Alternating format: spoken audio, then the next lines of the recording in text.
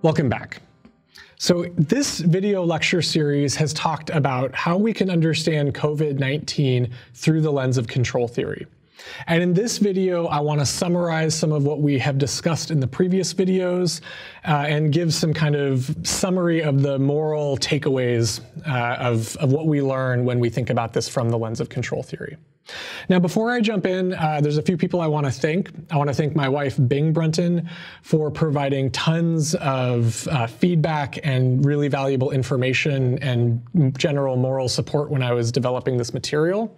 I'd also like to thank Derek Franz for his help in uh, producing these videos. Okay, so we're going to jump in and we're going to summarize what we've learned so far and discuss some of the moral takeaways. So this is the diagram we've been uh, looking at throughout this series where we are analyzing the disease system, the spread of the, the coronavirus through a population, and how through principled uh, control decisions and actions we can try to suppress uh, this kind of runaway exponential spread and maintain uh, a rate of infections that is manageable with our current healthcare capacity. And I've stressed many, many times the importance of measuring aspects of the system, of really measuring our system so that we can get this feedback signal so that we can get robust performance uh, out of our controller. We also need good models of the system so that we can predict what's going to happen um, you know, in our system. So We've talked a lot about the texture and the challenges of what make this both uh, interesting but also really hard from a modeling and control standpoint. So, uh, and this is just a handful of some of the challenges. So there is uncertainty in every aspect of this we have uncertainty in our models. So I showed you all of those models and none of them agreed. So we have uncertainty in our models. Our measurements are noisy and imperfect, so there's uncertainty there. When we make a control decision, when we take action, we don't know how effective that's going to be. That also gives us uncertainty. And this makes sense. This is, we are the controller. Every human is part of this control strategy. It's our actions that are changing this system. And whenever you deal with human dynamics, it's going to be messy. So uncertainty is just part of the game.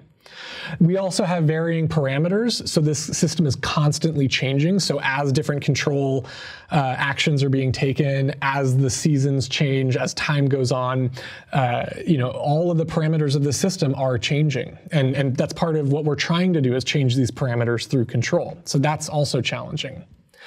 Time delays are a major, major problem in control systems in general. So if you want really fast, aggressive feedback control, time delays can really hurt your performance and, and, and hamper that robustness. And there's time delays in every aspect of this. There's time delays in your measurements, how long it takes to detect if someone has this virus. There's time delays in the transmission itself, how long it takes to transmit. There's incubation periods there's time delays in the controller from when decisions happen to when the actual uh, actions take place there's there's time delays. And so understanding how time delays affect performance and what we uh, what we can expect out of our control system is really important and we also have fundamental limits on, on what kinds of control actions we can take. So we only can do so much. We can't, you know, micromanage every individual person's, you know, daily life, and nor do we want to. We can't tell people exactly what they can and can't do. And so there's limits on our control. Also, uh, we don't want to you know, shut down essential services. You can't shut down the food supply chain. You can't, you know, we have to have firefighters and police and medical workers and, you know, we, we have to have that basic infrastructure. So there's limits on what we can do with control. And, and that's all, you know, wrapped up into this control design. Okay, good. So we've zoomed into the disease system and we've talked about various strategies for building models we have zoomed into the measurement system and talked about the importance of extensive surveillance and measurements of our system, both for better control decisions and to update our models as things change. Uh, and we've also talked about various control strategies. Once we have those measurements, once we have those models, how do we actually control our system? For example, using model predictive control. Okay, so now I'm going to talk about some of the kind of morals of, of what we've learned throughout this process. So one of the key takeaway ways that I can't stress enough is that effective feedback control, effective control using feedback absolutely relies on sensors. Sensor measurements are the lifeblood of feedback control, and you can't do it without measurements. You can't suppress the system if you had a blindfold on, okay? Or at least it's much, much harder, and you can't expect your performance to be as good. And also, time delays are really problematic. So reducing time delays anywhere possible is essential. And we maybe can't control the incubation time of the virus, so we should be focusing on getting faster, more uh, you know, real-time sensor measurements and real-time control actions. So another thing we've talked about is the importance of models. So we, I've talked about lots and lots of different modeling strategies to understand how this spreads and how we can control it. And one of the points is that even though all of these models are different and most of them disagree, and there's no perfect model for this disease system, even imperfect models can be very, very useful for control theory. And in fact, Control theory, this is maybe the biggest point, control theory is a framework for balancing imperfect models and imperfect measurements to still make good decisions and to still have good performance.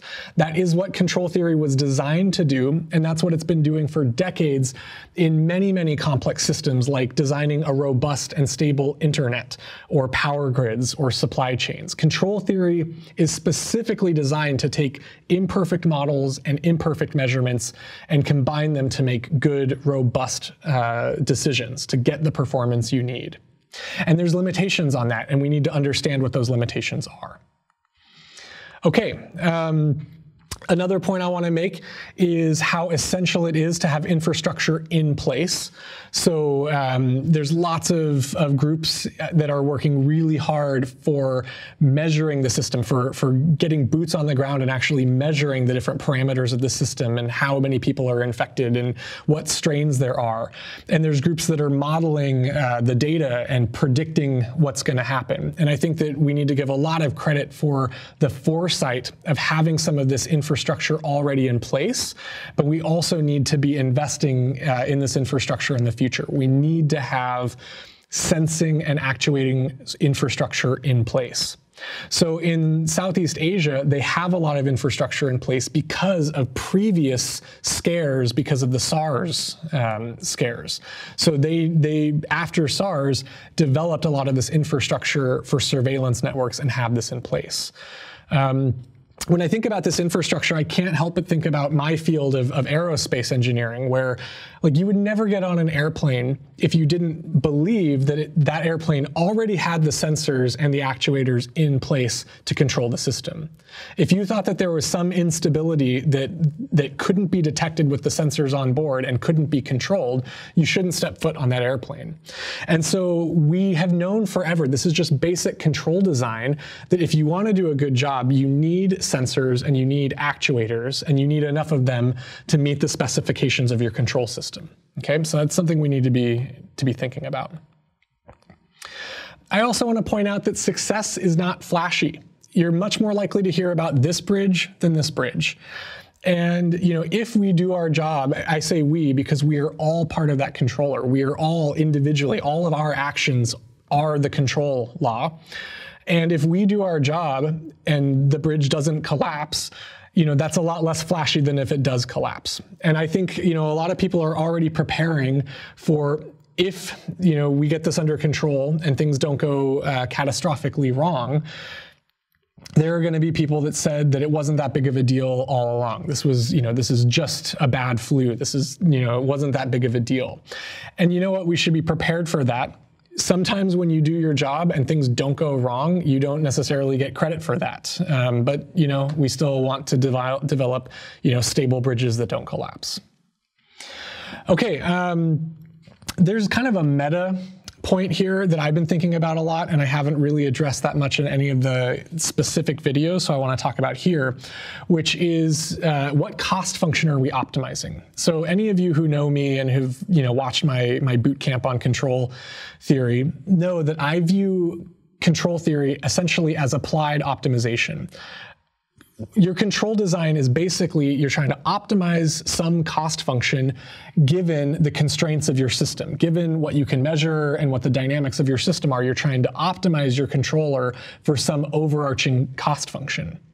And this is kind of problematic when we have something so societally important like the, the spread of COVID-19. Obviously, lives are, are critical. We don't want people to die. We want to, to save lives. There's also livelihoods. We, we want people to get back to work. We want kids to go back to school. This is a huge, you know, there's a huge economic and societal impact as well for the control actions that we're taking. And how do you balance those, those cost functions? That's incredibly challenging but I think we do have to be aware that at some level, this is, we are trying to optimize something.